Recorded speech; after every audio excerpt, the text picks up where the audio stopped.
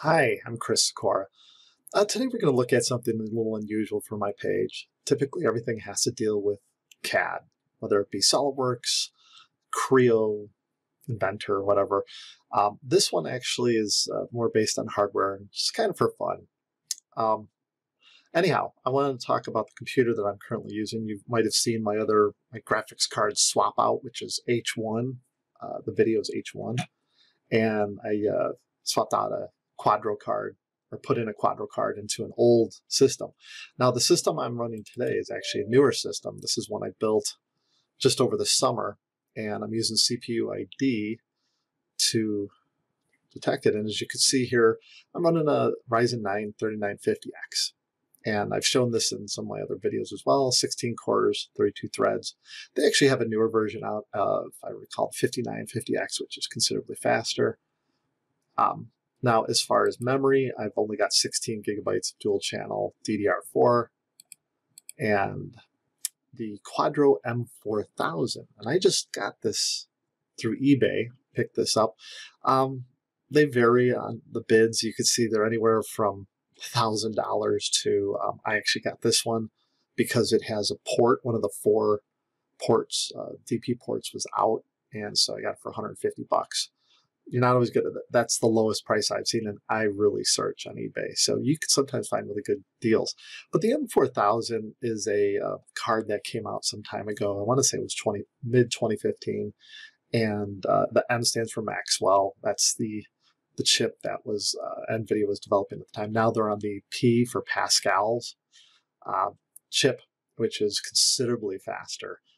If I recall correctly, this one, when benchmarked on uh, CPU benchmarking. Uh, anyhow, it came out to something like uh, 6,500. And uh, is it, if you've watched my past video, anything above 12,000 is really good, a pretty decent gaming card. Uh, but this isn't really meant for gaming, but we're going to have a little fun with Cyberpunk today and look at it. Now, I do have uh, the bench tools. You don't really need to see it. It, it benches out the same. Uh, as you can see here, if I bench it really quick, it comes out to exactly or around about what the reference processor is here. And here we can see the CPU multi-threaded as well as the single thread. And if you've watched my videos on CAD, sometimes I'll show this, but I'm going to go ahead and kill that. You can see it's almost identical to what we see there. All right, now I have SOLIDWORKS running as well. Um, this is just a pseudo board we use for uh, testing CPUs and things like that. But there's nothing to this. This is a super prismatic square shape. There's nothing uh, difficult for it to rotate.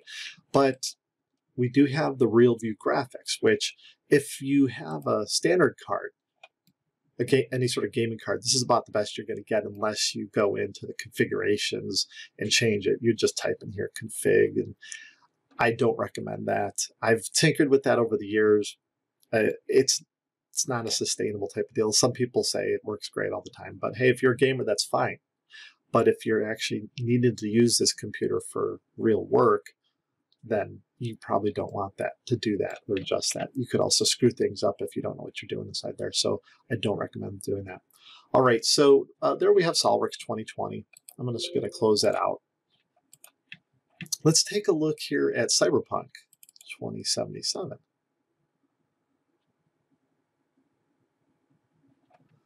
All right, and as we can see here, I'm just going to go ahead and play this, and we're looking, the date is actually 12 25 20.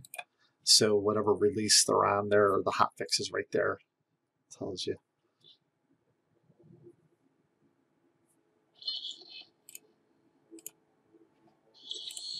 Okay, and I've seen this occur before, and I'm not sure if this is one of those glitches, but I'm going to try and kill this and restart it.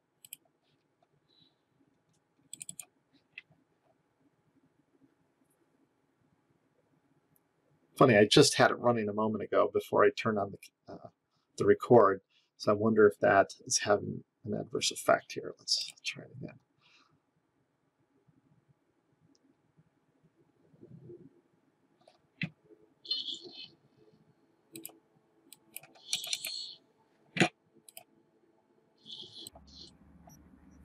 So here we could actually see, uh, I got into the interface. I actually had to use Microsoft's uh, software and then later on plug this into Camtasia.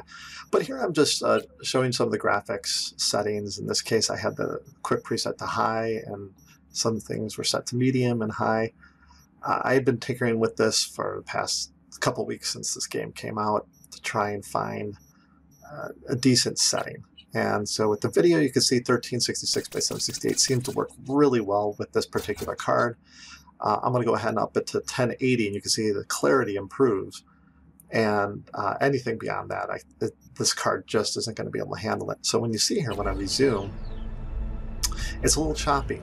Now the frames per second, I didn't have that up there to, to show it, but it's got to be like, at some, some points, it looks like it's about 20 frames per second, if not lower. Uh, it's not bad. It looks pretty decent. Um, I shouldn't say it's not bad. It, I wouldn't want to play this game at this setting. But I did want to show some of the uh, things here. Now, also, I'd read that if you adjust the number of... Oh, here we go. I uh, went, ahead, went back to 1366 by 768. And it's a little bit on the fuzzy side but it's vastly improved as far as frame per second. Again, I don't know what frame per second are on here. Um, they might be 30 for all I know, but still, it's it's playable at this point. It looks good. A little on the fuzzy side though, and there are some other settings you could adjust how many people, like if you want the low or high volumes of uh, people out on the streets. That, from what I read, helps. And I think in this video I actually end up testing that out, as you're going to see probably in a, a minute here.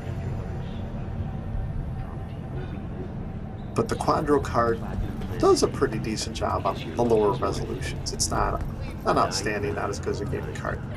Now, the fastest card I do have is actually a GTX 1080 with 8 gigabytes of RAM and that one definitely plays a lot better at this resolution. I should say at uh, 1080. It does not play well though at 4K resolution, so I did try it on that. And maybe I might make a video on that too, but I don't know if there's much point. There's a lot of videos with those types of cards on there, so you could always look them up just on YouTube here. Here you can see the crowd density. It's under the gameplay performance, and I set it to high, and resume, and it still uh, doesn't seem to really slow it down much here because as you know as I increased it. But it adds these little uh, additional entities out there which is really pretty cool. So all in all the Quadro M4000 it's a pretty decent card uh, if you're looking to do CAD but for gaming uh, you know again like gaming this is one of the most intense games out there currently. Uh, you couldn't you can't play it beyond 1080 without serious issue. And that's it.